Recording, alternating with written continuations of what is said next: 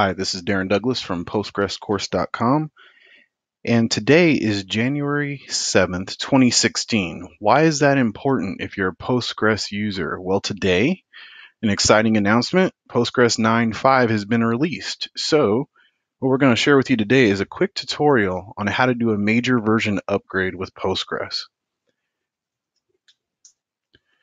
Uh, there's five steps here, but you may wonder why is a major version upgrade more complicated than a minor version upgrade, and then how do I know which is which?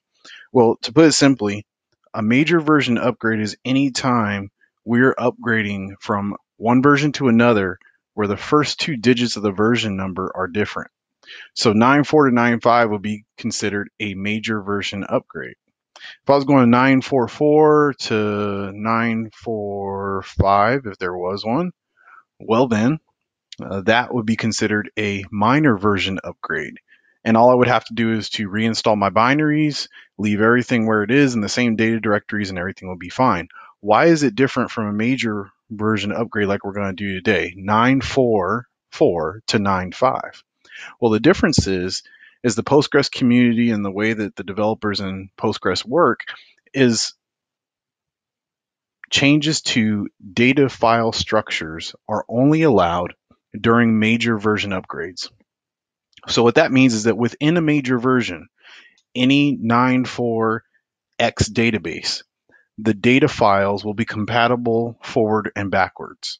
And the same will be true of this initial version of 9.5, 9.50, and all subsequent versions. The data files will be compatible forwards and backwards. However, going from 9.4 to 9.5, there can be and there have been changes that cause us to need to convert our data so that data structures are uh, correct for the version in which that data is installed. All right, so that's why we have a few more steps.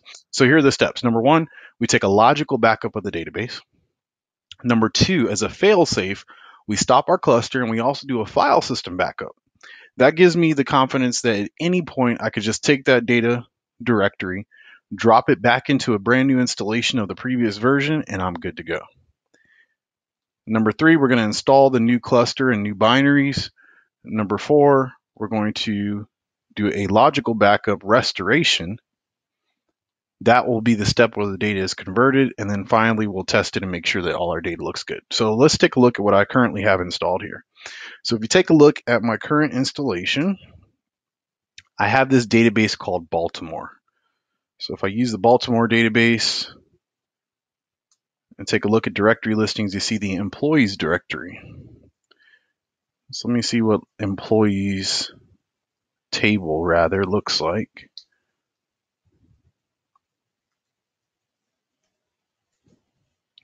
There we go. A bunch of information about different employees, their title, uh, different ID numbers, and salary, and so on.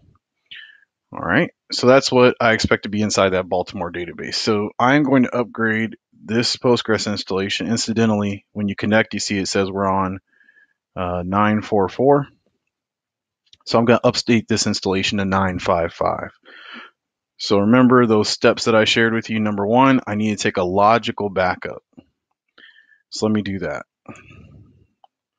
So I'll use my PG dump utility.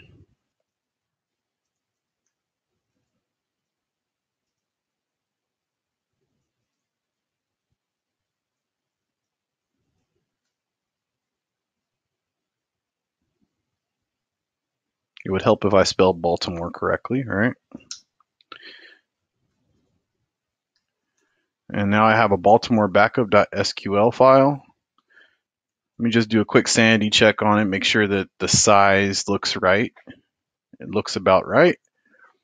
And let me just take a look at the contents. Remember, our logical backup files are just a bunch of SQL statements.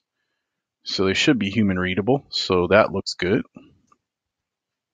All right, so my Baltimore database has been backed up. What's my next step? Well, my next step is to stop my Postgres cluster and do a file system backup just as a failsafe to make sure that if I want to get back to any 9.4 version, I have everything that comprises my cluster right here in a safe file system backup. So let me show you how we do that. I'm going to go ahead and stop Postgres.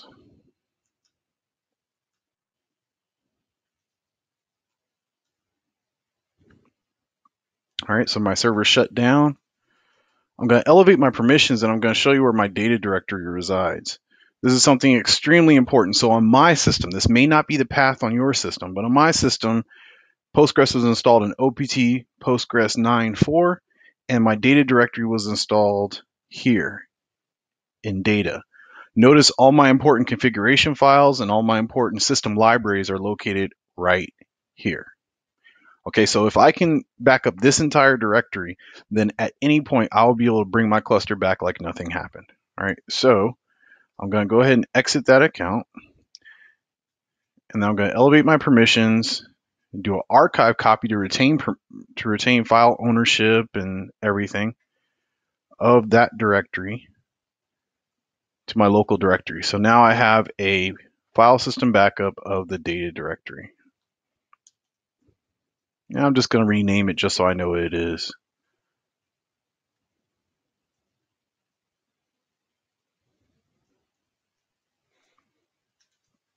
All right. So steps one and two are complete, right? So step three is I install my new cluster that includes all the new binaries. Just to make the demo easy and make it so anybody can follow this on any particular version of Linux, I'm going to go ahead and use the Postgres uh, installer from Enterprise DB. So elevate my permissions and do that to execute the installer. I'll select the default installation directory, default data directory, set my password, allow the default port and default locale, and install.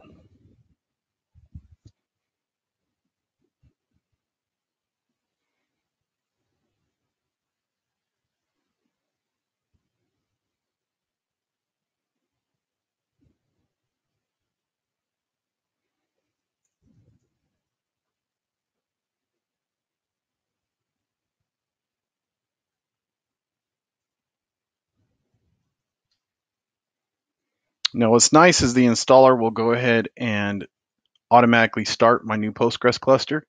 So now I have Postgres 9.5 installed here.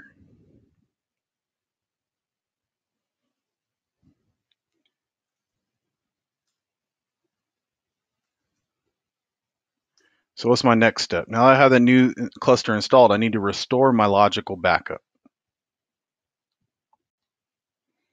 Okay, so let's install that backup. Let's go ahead and log into the new cluster. Let's see if that database is there. Of course it's not because it has a brand new data directory, brand new binaries, everything's fresh just like a brand new install. It does not have any of my existing data. All right, so the first step I need to do is I just need to go ahead and create a database to hold that Baltimore data. Now there's the Baltimore database. I need to connect to the Baltimore database.